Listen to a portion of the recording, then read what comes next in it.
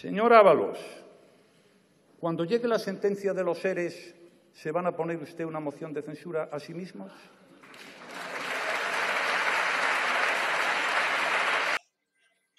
Así es, así es. Recordad que eh, se le hizo una moción de censura a Rajoy por el tema de Gürtel y es presidente, desde entonces Pedro Sánchez es presidente. Ahora, eh, esa fue una, profecía de Rajoy. Cuando salga la sentencia de los ERE, ¿se hará eh, una moción de censura a sí mismo? Por supuesto que no. Por supuesto que no. Sánchez es un, digamos que el presidente con la cara más dura y el... Vamos, ha habido muchos presidentes en España, se le pueden achacar muchas cosas. Yo no estoy de acuerdo con ninguno, prácticamente se puede decir. Pero si ha habido un presidente cara dura y sin vergüenza, riéndose de todos los españoles, sin duda alguna, ha sido Pedro Sánchez. No hace falta eh, muchas pruebas. ¿eh? Yo quiero dejar aquí claro una cosa desde el principio del debate. Y es que yo no he pactado con los independentistas. No, que es mentira. Nunca, Que es falso. Sánchez. Que es falso. No, tome el pelo. Que es falso. Y por tanto, usted podrá repetir mil veces una mentira, pero es falso. Claro, claro. Falso es falso, no es no y nunca es nunca. Pues que quede claro desde el principio del debate. Auténtico sinvergüenza. Un auténtico sinvergüenza que ha engañado desde el principio a todo el mundo.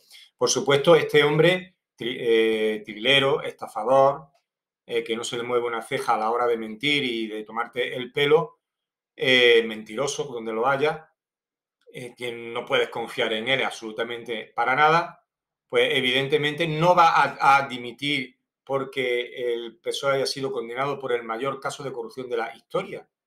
¿Eh? Y él mismo decía, él mismo decía, fijaos, que estaba convencido en un Twitter suyo de, la inocencia de Chávez y de Griñán. Chávez y Griñán son personas honestas, yo confío en ellas. Eso es lo, que decía. Quiere decir, hizo, hizo una moción de censura y llegó a la presidencia del gobierno por algo en el que Rajoy no estaba implicado, no se ha demostrado que estuviera implicado, y no hace lo mismo por el mayor caso de corrupción, casi 700 millones de euros ¿eh? de dinero público malversado, en una sentencia histórica, no hace lo mismo eh, no, no, no, no se pide eh, a sí mismo lo que pedía para los demás. O sea, la caradura de este hombre es inmensa. Con lo único que, deja, que nos deja claro eh, el actual presidente del gobierno es que a él le importa tres pitos España y los españoles. Lo único que le interesa es el mismo y el poder. Nada más. Nada más. Es un, un personaje auténticamente inmoral. Inmoral. Incapacitado para gobernar Absolutamente, absolutamente. Falto de empatía. ¿eh? Por ahí muchos lo han incluso, eh, incluso psicólogos, han dicho que tiene eh, el, perfil del perfecto psicópata. absolutamente, solo le importa él mismo. Solo le importa él mismo. Nada más. Nada más.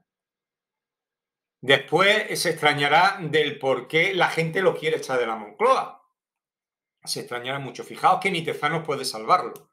Incluso Tezanos ya le da la victoria al Partido Popular. Él no se echará la culpa a sí mismo, siempre echará la culpa a los demás. Ahora anda por Moncloa, según dicen los mentideros, eh, echándole bronca a sus colaboradores y que nadie se atreve a decirle que a lo mejor el problema es él. E incluso los más cercanos, los colaboradores más cercanos y más afines al poder y a él mismo, a Pedro Sánchez mismo, piensan ya que el problema realmente es Pedro Sánchez. Sí que empezó engañando a todos los españoles, mintiendo como un cosaco, pero sin ningún tipo de vergüenza, sin ningún tipo de vergüenza. Lo de este hombre es impresionante y la desgracia de este país de haber caído en las manos de este tipo, de este tipo de personajes, de este tipo de gente. De gente sin escrúpulos, que solo le importa a ellos mismos. Nada más. Nada más. ¿Cómo vamos ahí? Solo puede ir este país a peor en manos de esta gente. Este es Sánchez. Este es Sánchez. Ya lo sabíamos, pero para que nos quede bien claro. Y no te olvides darle un like y suscribirte al canal de Telegram del Arconte y a este también. Gracias y hasta la próxima. Señor Ábalos, Cuando llegue la sentencia de los seres, ¿se van a poner usted una moción de censura a sí mismos?